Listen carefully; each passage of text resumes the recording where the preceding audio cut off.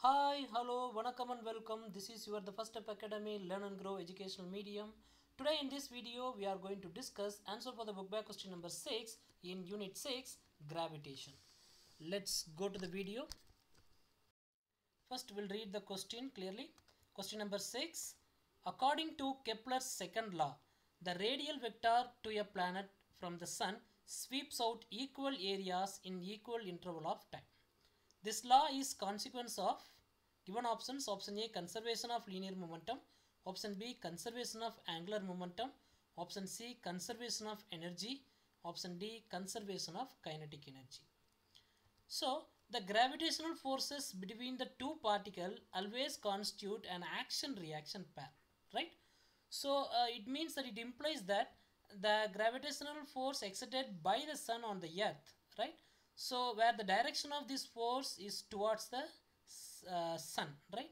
At the same time the reaction force is exerted by the earth where the direction of that reaction force is towards the earth. So that generally we are calling as action reaction pair where uh, uh, the torque experienced by the earth uh, by the uh, gravitational force exerted by the sun can be expressed as tau vector is equal to dl vector divided by dt is equal to 0.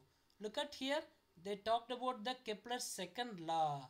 So look at the planets are revolving around the sun. Hence, we need to be in concern with angular momentum.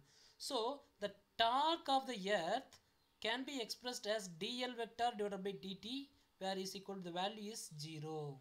Where here L vector is the angular momentum.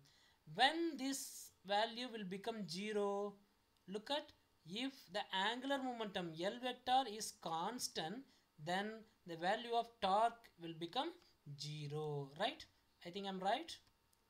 So the angular momentum of the earth about the sun is constant throughout the motion.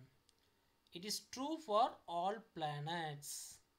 In fact this constancy of angular momentum leads to the Kepler's second law look at this with this concept how can we answer for this question? What may be the answer for this question?